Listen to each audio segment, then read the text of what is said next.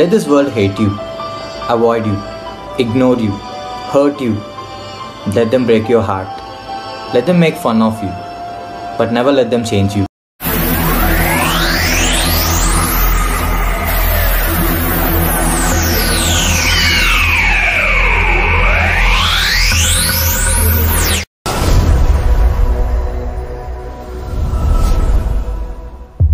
Hello friends, thank you for all your support. Today we will learn the basic formulas in Excel which will be helpful for everyone. Let me explain the basic formulas which are very useful on a day basis. So let me start with the first one which would be your sum. So you can take the sum over here like is equal to sum, select the number of cells or data which you want, close the bracket and hit enter. You will get the sum is equal to sum of the data which you would like to 74 now let me give you another option. That is is equal to sum then the column which the data starts is E and the row which it starts is from the 3 so I'll type as a E3 from there to it goes till E12 so that is how it is getting selected the data. Close the bracket and hit enter. This is the second way of doing it. Now third way of doing it, doing or getting the for sum is okay you don't need to do anything with the mouse or anything with your formula there. So what you just need to do is hold the alt and plus button which will give you the formula. So if you look at this that's how it takes the formula automatically. That's the third way.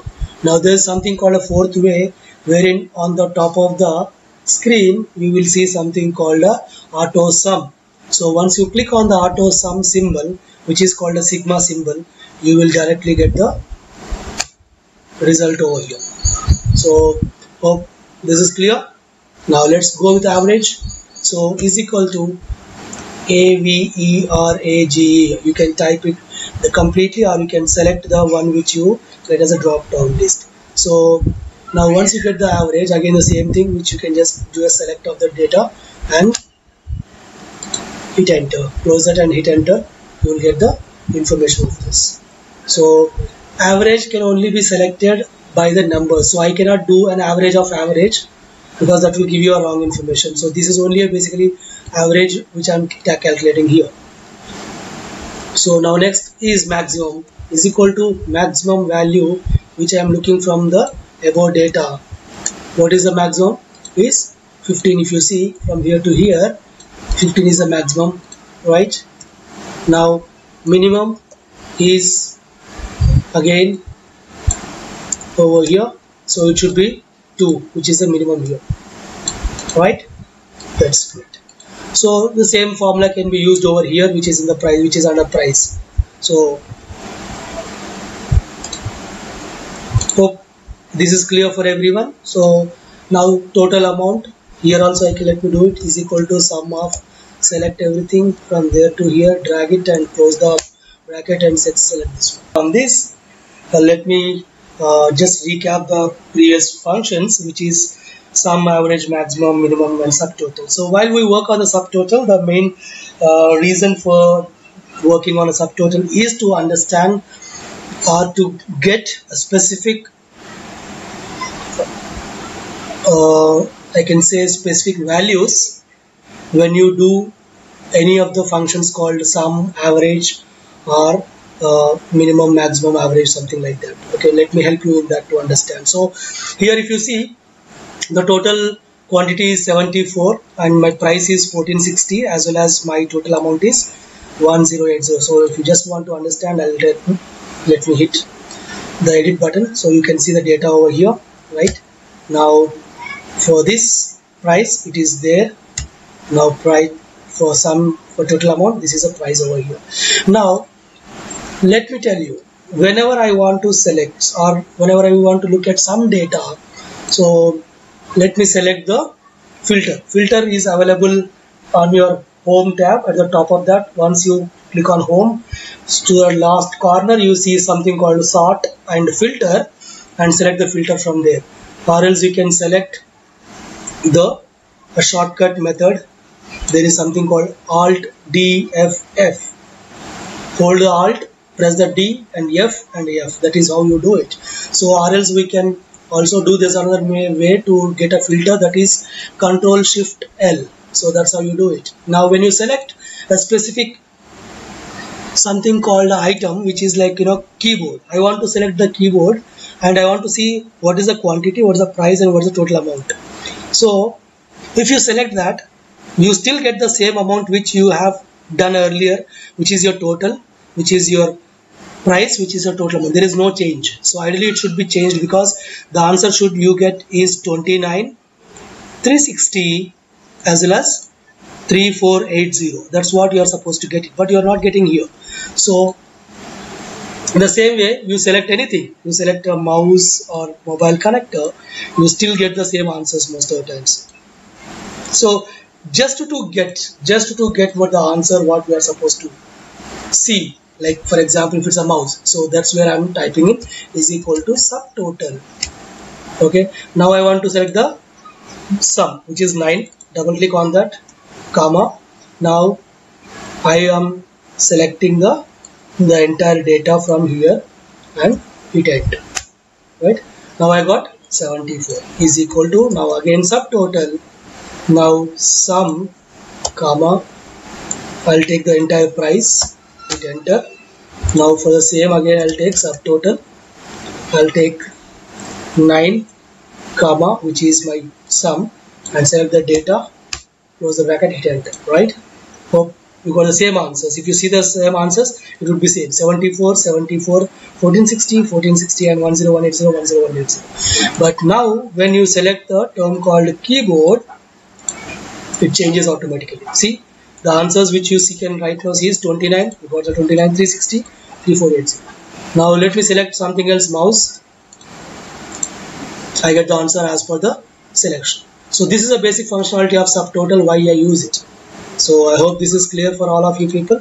So now let me go ahead and work on the function called trim. So let me take the same data. Okay. Now you know, on the video regards to trim left right concatenate text to column uh, functions uh, which will be our next set of formulas. So basically trim eliminates any kind of spaces available for a particular uh, data. So it can be a text or it can be something any of the number also it can be. So over here if you see for my name one I have two spaces which can be visible. And for name two I have spaces. For name 3 also have some spaces. So usually I write is equal to trim and select my the data or the text which I want to remove the spaces. So there are many ways like you know you can just do a manual methodology by just hitting the backspace but how long you will be keep on doing the backspace? That's the reason we use a trim function. So hold this enter and drag and drop function which is as it is. So uh, the names will be as it is because there is no difference in the names. Just the extra space is being removed.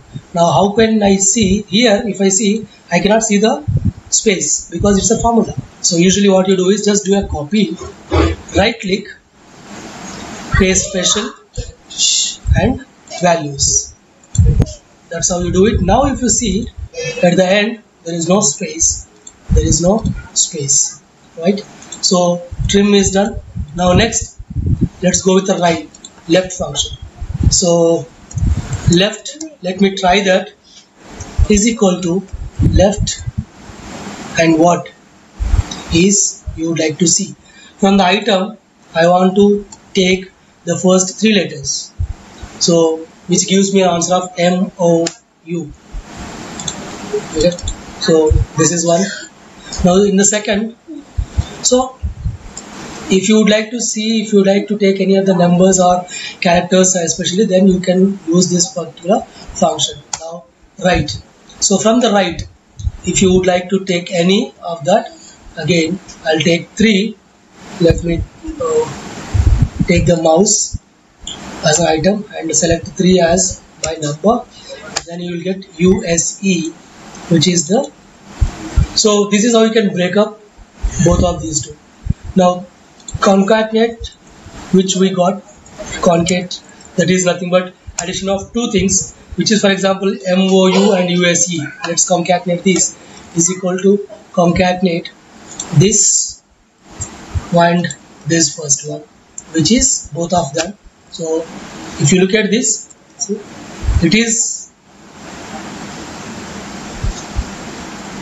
it is considering the first three letters plus adding the second three letters. So as there are MOU USE it is taken as it is because it is just adding the first three and second three I mean whatever we have done in the previous one. So text to two columns. Text to two columns is something very different. So for example I'll tell you uh, here in the in the numbers let's try this first one name. Okay we have the numbers name and number right? Let's remove that. Text to two columns. And which is most of the times we use this so under text to columns what we have to do initially is so I will select this data. Then you go click on data. Text to columns is a one. Or else there's other shortcut which is alt plus D and E. Okay? Now once you get into text to columns what I'm looking for? I'm looking for a particular uh, name or something like that which has to be removed. So select the fixed width. Then now there's a line which you can draw that is between name and the number. Now select that. Now what you want to do? You want to remove the ones right? So select that particular box and say do not import column. So it means the 1 2 3 will not jump into the next columns.